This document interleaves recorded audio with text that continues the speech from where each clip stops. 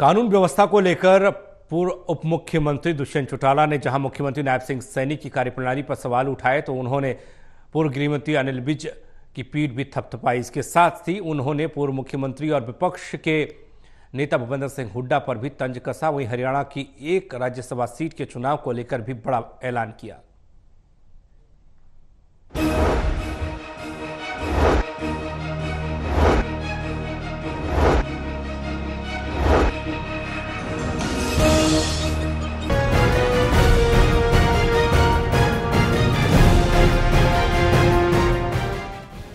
व्यवस्था को लेकर पूर्व उप मुख्यमंत्री दुष्यंत चौटाला ने जहाँ मुख्यमंत्री नायब सिंह सैनी की कार्यप्रणाली पर सवाल उठाए। वहीं उन्होंने पूर्व गृह मंत्री अनिल विज की भी पीठ थपथपाई। पिछले एक सप्ताह में हरियाणा में घटित आपराधिक घटनाओं का ब्यौरा देते हुए उन्होंने कहा कि इससे अच्छे तो विज साहब थे। उन्होंने कहा की मुख्यमंत्री नायब सैनी द्वारा गृह विभाग को अपने पास रखने का नतीजा है और मैं सैनी साहब को सलाह दूँगा की प्रदेश में एक फुल टाइम गृह मंत्री होना सुनिश्चित करे। जो पिछले एक सप्ताह के अंदर प्रदेश में बड़ी खराब हुई है, वो कानून व्यवस्था है। मैं अगर पिछले एक हफ़्ते की कटिंग्स आपके सामने रखूँ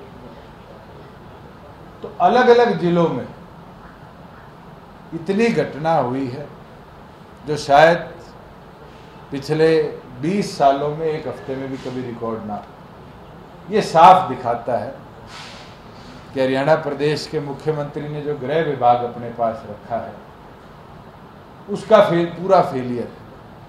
इससे तो विद साहब भी ठीक थे, जो तो गृह मंत्री के तौर पर कानून व्यवस्था को तो ठीक रख रहे थे। मैं तो आपके माध्यम से ये चीज़ कहना चाहूँगा, सैनी साहब को, कि फुल टाइम होम मिनिस्टर प्रदेश में हो तो कानून व्यवस्था सुधरेगी। वहीं हरियाणा की एक राज्यसभा सीट के चुनाव को लेकर उन्होंने ऐलान किया कि अगर कांग्रेस प्रदेश के किसी प्रतिष्ठित व्यक्ति कॉमनवेल्थ ओलंपिक स्वर्ण पदक विजेता खिलाड़ी को संयुक्त उम्मीदवार बनाए तो हम कांग्रेस को समर्थन देने को तैयार हैं। इसके साथ साथ उन्होंने पूर्व मुख्यमंत्री और विपक्ष के नेता भूपेन्द्र सिंह हुड्डा पर भी तंज कसा जो देश के लिए गोल्ड मेडल लेकर आया हुआ है, देश के लिए निरंतर कॉमनवेल्थ एशियन गेम्स, ओलंपिक्स के अंदर हिस्सेदारी कर पाया। उनको आगे लाने का काम करना चाहिए। और मुझे नहीं लगता ऐसा कोई व्यक्ति आएगा तो चाहे कांग्रेस हो, चाहे जननायक जनता पार्टी हो, चाहे वो लोकदल हो, चाहे निर्दलीय हो, हम सब मिलकर उसका समर्थन भी करेंगे। और ये पहला अवसर आएगा जब भारतीय जनता पार्टी को एक कड़ा मुकाबला भी देखेंगे हार जीत तो सिक्के के दो पहलू। मगर लीडर ऑफ़ अपोजिशन का ये कहना कि हमारे पास नंबर नहीं है। ये तो कांग्रेस की हार को पहले दिखाता है। वहीं विधानसभा चुनाव को लेकर उन्होंने स्पष्ट किया कि भविष्य में बीजेपी के साथ जाने का कोई औचित्य नहीं है।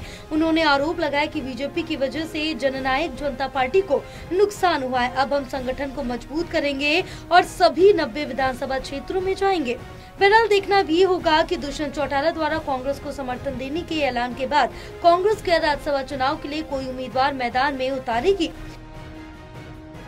टोटल टीवी के लिए अनिल कुमार की रिपोर्ट।